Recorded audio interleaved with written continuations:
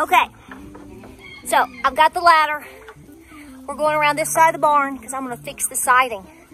We're winterizing and getting everything ready for all the goat babies.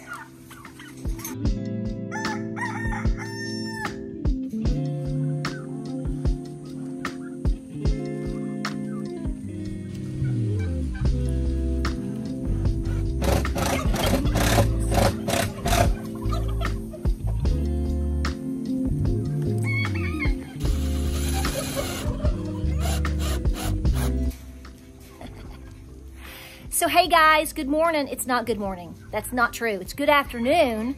Welcome to Appalachia's Homestead. We are working on the farm here. I think this is going to be the last day, maybe, that we're able to wear shorts around here. Yeah, we're moving into sweater weather. Major temperature drop coming tomorrow. It's very pleasant today, but what we're doing uh, is we're shifting things around. So it's, it's, is it disheveled? Disheveled, disheveled, disheveled, I don't know, whatever. But welcome back to the channel. Uh, what I'm currently doing, what we're currently doing, is we've got all these goats, and every single girl that's out here is having babies, baby. Uh, exactly when, we're not exactly sure, but we're trying to start preparing and changing things. Don't nibble. Don't nibble. Ha! I'm locking you out, cowboy. Maybe not. Hang on.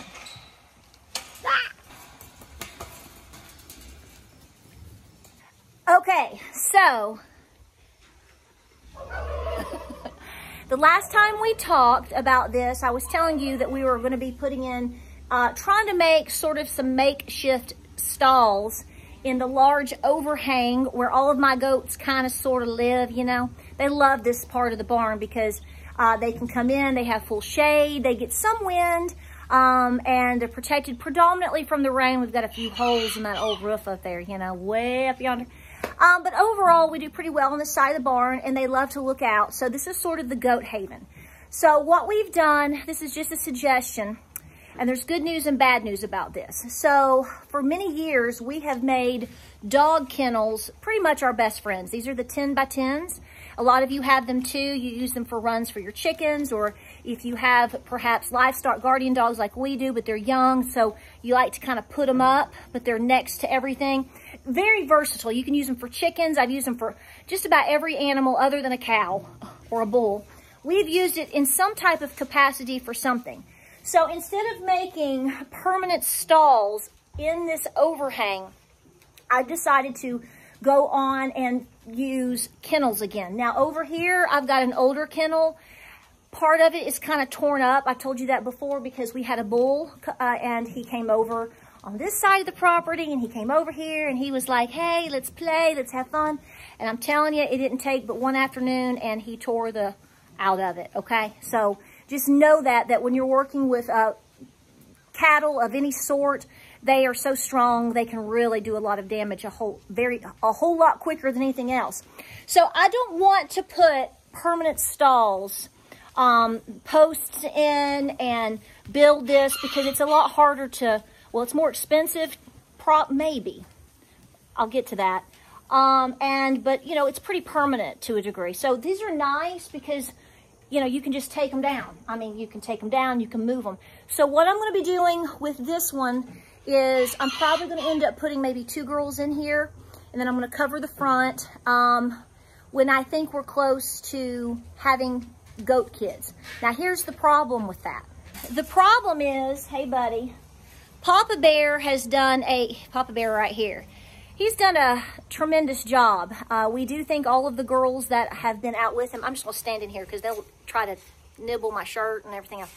Um, the, the issue is, is I think we have different girls that were obviously bred at different times. So the first date that I'm really starting to look at as a potential start, a kickoff for my nurseries, uh, is going to be around the 27th. So we have, in my opinion, give or take, about two more weeks. I could be off. I could be wrong. I mean, you know, this is all about Mother Nature and what she wants. Not about, it's not about me. Um, because we put them out. That's what makes all the girls love you, huh? Learn something, guys. But here's what I'm saying. So we've got all these girls out here, and I do think we have two issues. Number one, like I've said before, we don't know exactly when all of them were bred. So I could start having goat babies. Let's just say it's October 27th or Halloween or November 1st, whatever. Two or three of them may pop those babies right on out. Uh, but then again, I've got more and they may not have babies until December. So it's going to be a daily watch game, heavy, heavy watch game starting in the next two weeks. So what I've been trying to do is create these stalls, clean up the stalls in there, because basically what I'm going to start doing is trying to make be my best judgment calls in terms of moving them into stalls because ideally I don't want them having babies out in the field. Now, if we were in the middle of summer and it was, you know, 85 degrees and they were kind of over here by themselves, I wouldn't be as anal about it. Every baby goat, goat kid, okay, every baby that I've ever had that has been dropped in the late spring through the summer all made it. And the reason for that, so if you've never had baby goats, I'm teaching you this. I hope you know this. Okay, so a lot of times goats, particularly Nubians or Nubian crosses, they go into heat typically September, October, November, which means a lot of people have goat kids around, you know, January, February, March, typically it's very cold in a lot of places in the United States. Not all. I mean, I understand Arizona and Florida is not going to necessarily experience the weather that we are. Um, but, you know, I've had some losses over the years because I had new mamas that started dropping babies uh, when, it, when the weather got really cold and I didn't catch it in time or I missed it by even just a few minutes and the babies can die. So you want to try to secure as best you can the area that your goat mamas are when you think they're best like or most likely to start going into labor, okay, birthing the babies. That way they are isolated, they are protected. Hopefully they are shielded from wind and cold. They've got fresh bedding, which I don't have down yet. I mean, we're not there yet. Um, and you can monitor them to make sure that the mama is doing her best to clean them, warm them, warm them up.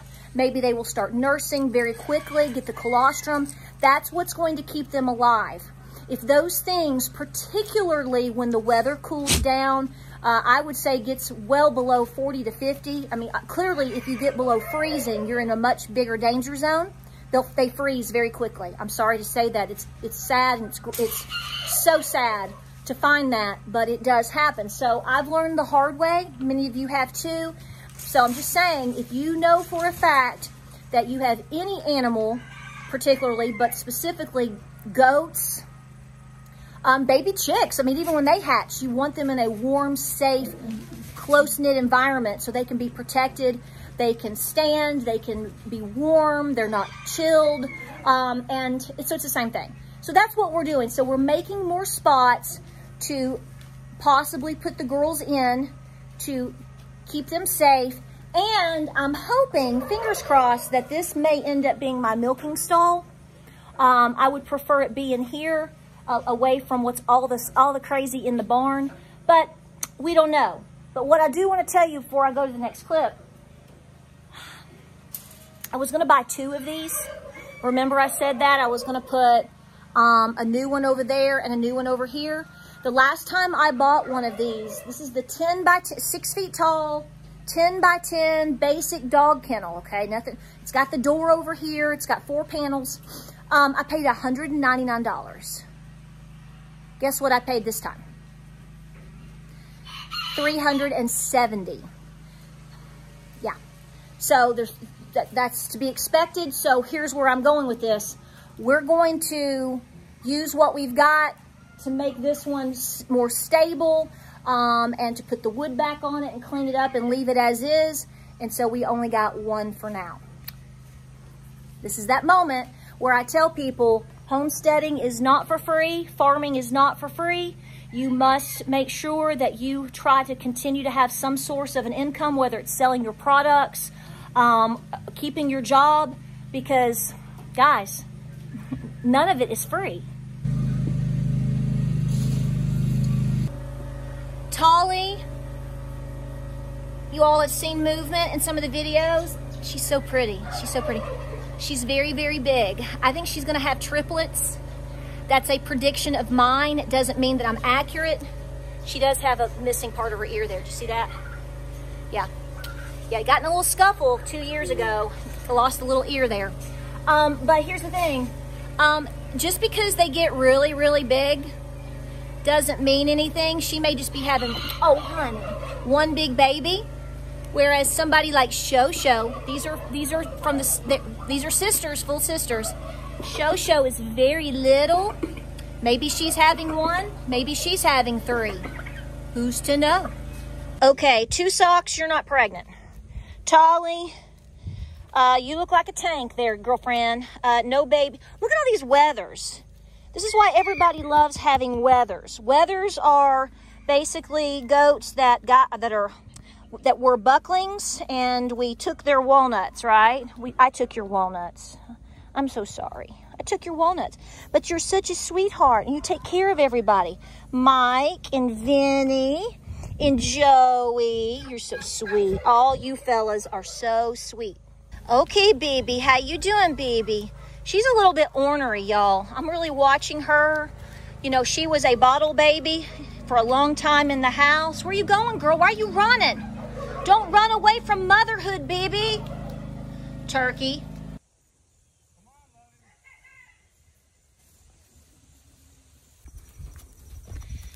All right. Keep going. Keep that booty going, girlfriend. Oh, we got the view of a lifetime.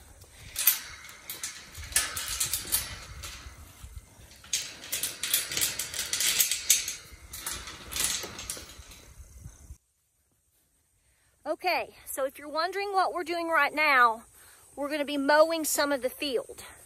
Not all of our fields, but particular areas because it's got some really high brush. So what we've done is we've moved the cows over one more paddock, gave them a little extra food because clearly they look like they like food. uh, and then um, the goats and every the dog, everybody's up. So this field doesn't have any, anything in it right now except for us. So we're going to come down here and we're going to mow this down because should a goat girl go into labor and she's over here, she might try to hunker down over here from the barn, you can't see what's going on down here. It's gotten so high. We got all kinds of things in here. Got all kinds of things. So we're gonna take this down. I think we've got all kinds of different brush and trees and brambles and all kinds of things. So we're just gonna knock this down so it's a clear view. So I want you to see how thick this is. So if something were to come in here and bed down, there's no way that we would see that. And so we want to make sure that we just got it taken down. Now that we're in the final days of mowing, we'll probably mow after today. We might mow two more times this year. We'll probably be done.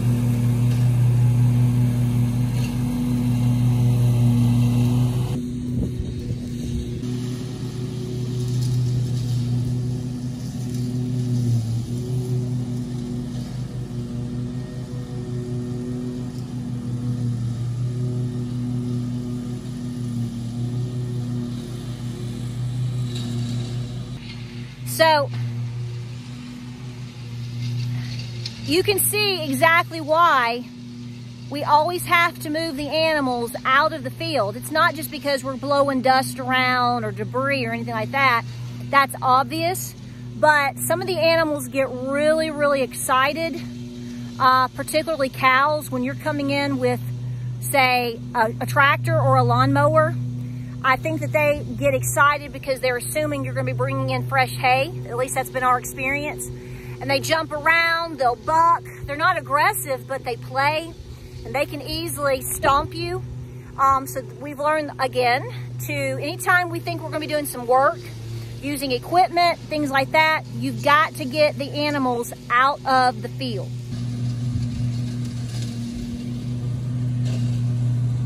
Okay, so I'm just going to sit in here for a second because I think you can hear me a little bit better.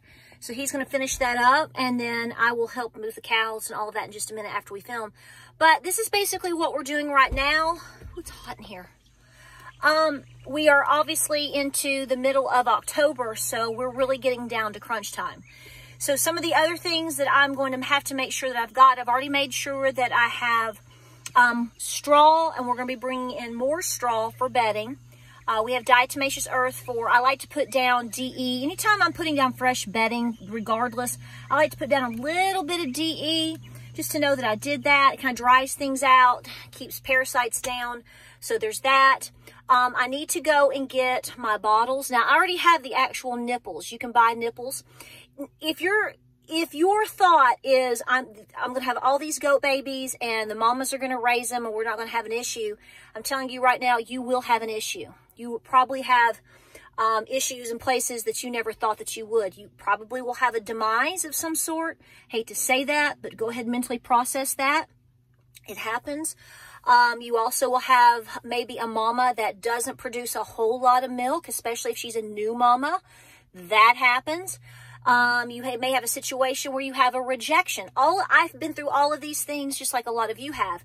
So you have to prepare for that. So I have all of my nipples. I'll buy the actual separate little nipples um, for goat, kids, and lambs. Um, I actually like to use Diet Coke little bottles. What are they? Are they 16 ounces, 12 ounces? I can't remember now. Um, that is actually my favorite. You can, a lot of people use Coke or Dr. Pepper or uh, Mountain Dew, whatever, but a, a, a pop, Coke, we call them Coke. But actually, I found for whatever reason, Diet Dr. Pepper, the bottles, uh, maybe Dr. Pepper is the same, but I just buy Diet Dr. Pepper because it works great. Um, and I'm going to buy two six packs, okay, to have bottles ready to go. They won't drink the Dr. Pepper, but they will drink my homemade formula, which is going to be uh, consisting of whole milk. A lot of people use just plain whole milk. I have a whole video or two on this, okay? But whole milk is the basis, and then you can add buttermilk and, of course, your evaporated milk. So, making sure I have all of that, uh, molasses, um, and um, Colostrum is in the freezer in case I need it. Hopefully I won't need it. Um, but you have to start going through your checklist of items. So that's where I'm at now. So I've been accumulating things. Now we're to the point of making sure the final checklist is done. Uh, towels, blankets, um, emergency items, all the things that you have in your emergency uh, vet kit, because you do have that. I know you do. So this is what we're doing right now. So basically we're getting ready for baby. It's the end of fall prep going into winter, but it's also making sure that we're ready for goat babies. Um, and it's just going to be a watch. Like I told my mother, you know, the other day, I'm like, you know, this could start at the end of October. It could go all the way into December, depending upon when, you know, happiness was happening between my buck, uh, Rip, and uh, particular girls. So we're going to keep you posted, but a lot of exciting things. You know, I'm keeping my fingers crossed. I'll take a prayer. Um, you know, I do plan. You just have to plan for a, a lot of overwhelming moments. So the best thing to do is to work ahead and know at a certain date that you're probably going to have to start moving goat girls in, in my personal opinion and experience. Some people just let them do whatever they're going to do. That's fine. But I know that cold weather is moving in starting tomorrow. Um, and honest to Pete, these goat kids in many ways cannot compete with that, so you have to prepare for that. Hope this video finds you well. We're busy, busy, busy trying to get everything cleaned up and ready to go every single day. It's not just about preparedness in your home, it's also about preparedness in your on your farm and in your barn. Because these beautiful little critters uh, is sustainability for all of us. And hopefully, hopefully in the next couple of weeks, the raw milk will be flowing here again. So we'll just have to wait and see. Who will it be? I've got my eye on a couple that uh, look to be developing really nicely in terms of the udder and uh, everything else. But again, we'll find out. We'll keep you posted. Like, subscribe, and share. Have a great weekend. Stay positive and stay very, very busy. Your self-sustainability and your preparedness comes in many, many ways. And you have to continue to prepare all the time. Like, subscribe, and share. Appreciate you. Have a good weekend. We'll see you on the next video. Godspeed, and love you like a little pig.